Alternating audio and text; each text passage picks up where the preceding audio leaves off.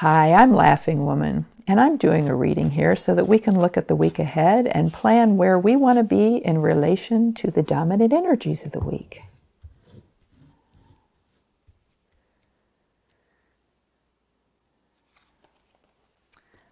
The first card is Three of Water, Loyalty.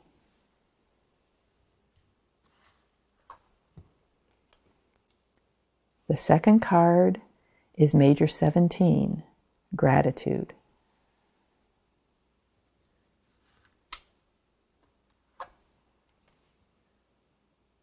The third card is Three of Fire, Growth.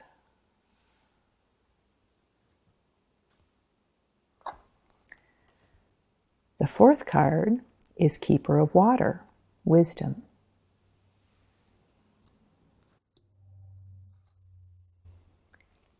And the fifth card is Nurturer of Bridges, Collaborate. So we have a nice mix of energies this week between action and, and emotion and spiritual connection. Um, a lot of variety as we move through the week this week. We begin the week with loyalty. This is very simply what it says. Whoever the people are, whatever the situations are that you hold dear, be loyal to them this week. Be true to who they think you are and stand beside them. We move from loyalty into gratitude.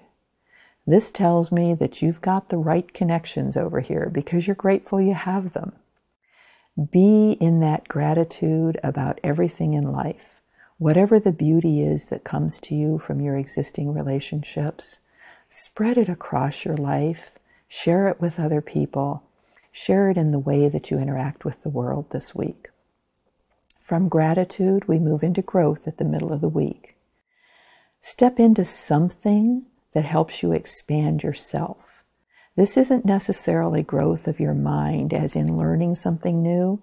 This is growth. This is being a bigger person in the world. So step in there in a way that you appreciate and that really shows the beauty of who you are. From that growth, we step into wisdom.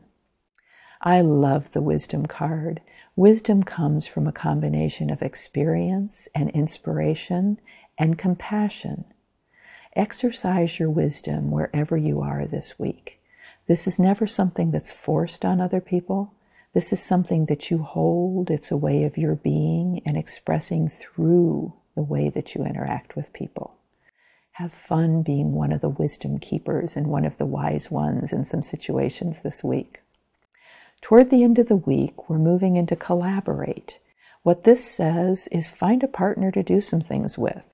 This is typically project oriented in some way. This isn't about a love partner. This is about just finding a friend or a coworker, somebody that can help you do something that you're doing that they're also doing. You're working together on a project of joint interest. So, in summary for the week, start by being loyal and enjoying the relationships and situations that you feel loyal to. Spread your gratitude out into the world. It's a wonderful thing to share.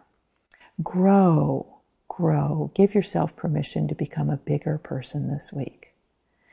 And share your wisdom. You have wisdom to share let it shine in the world, and then find someone to do something with.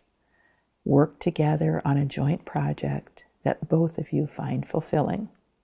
Have a really delightful week this week.